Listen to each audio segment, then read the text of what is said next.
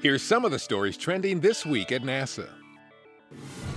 During an October 15th spacewalk outside the International Space Station, the second U.S. spacewalk in as many weeks, Expedition 41 flight engineers Reid Wiseman and Barry Wilmore of NASA replaced a failed voltage regulation device to restore the station's electrical power output to full capacity.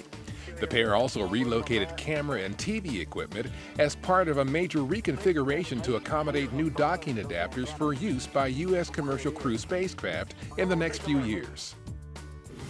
NASA's MAVEN spacecraft, which entered orbit around Mars on September 21st, is testing its instruments and sending back first light scientific data. This includes a first look at a storm of energetic solar particles produced by a recent solar flare, unprecedented ultraviolet images of the oxygen and hydrogen coronas in the upper atmosphere, and the most comprehensive map ever made of Martian atmospheric ozone. MAVEN, on a mission to learn more about the history of the red planet's climate and atmosphere, will officially start gathering science in early to mid November.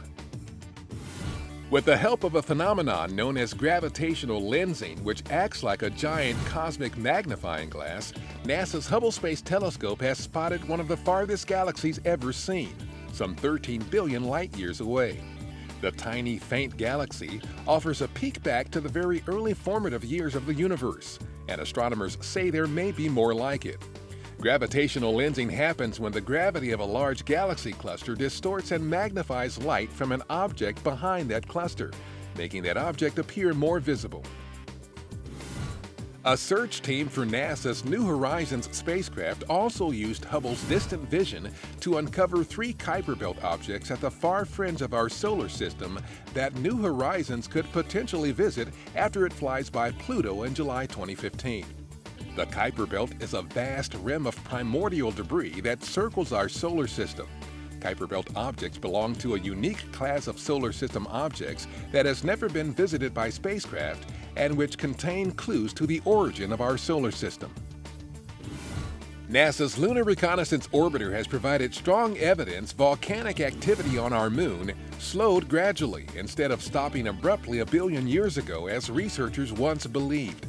The spacecraft observed scores of distinctive rock deposits that are estimated to be less than 100 million years old, which is about the same time period that dinosaurs were prevalent on Earth. The findings have major implications for how warm the moon's interior is thought to be.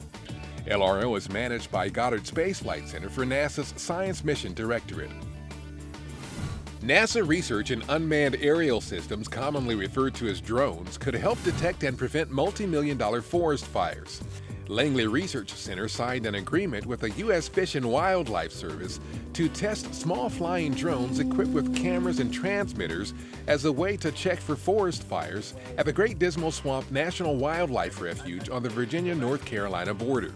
The research is part of the NASA Aeronautics Research Mission Directorate's UAS integration in the National Airspace System project. And that's what's up this week at NASA. For more on these and other stories, follow us on social media and visit www.nasa.gov/twan.